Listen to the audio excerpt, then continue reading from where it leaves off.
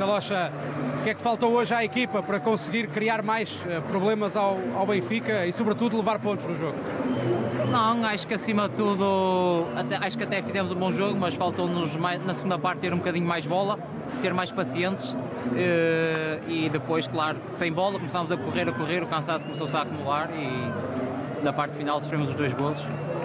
Mas estamos aqui para dar a volta por cima já no próximo jogo. É mais uma deslocação difícil, mas esperemos trazer já pontos de, para recuperar estes que perdemos hoje em casa. Aquela, aquele início da, da segunda parte, início da segunda parte com o Benfica a entrar muito forte na, na partida, a determinado momento a encostar muito o Gil Vicente atrás, isso depois eh, acabou também de alguma forma por moldar o vosso pensamento em tentar proteger mais aquele ponto do que ter forças para esticar mais o jogo a partir dali?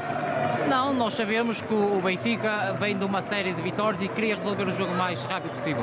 Então nós na primeira parte aguentámos, na segunda sabíamos que íamos entrar forte, também era a nossa prioridade entrar forte, não conseguimos, mas tentámos equilibrar o jogo e a partir daí não, não conseguimos, começámos, deixámos de ter bola, começámos a meter a bola mais na frente e, e deixámos de ter bola e perdemos mais, mais consistência ofensiva. A equipa estava num grande início de, de, temporada, não sai abalado por este, por este resultado e por esta exibição? Não, não, acho que, é como disse no início, acho que, tivemos, acho que até fizemos um bom jogo, mas faltam-nos algumas coisas que durante a semana vamos trabalhar, mas não é esta derrota que vai abalar eh, o, o nosso objetivo e o, que, e o, que, foi feito para trás. A lesão do Navarro antes do jogo, mesmo antes do jogo iniciar, também causou algum impacto na equipa, não?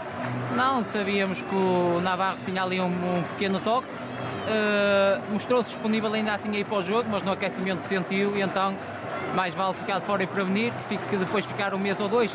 Mas acho que no sentido tentámos ganhar acima de tudo por ele, pelo esforço que ele fez ainda para, para jogar este jogo, mas não conseguimos levar pontos.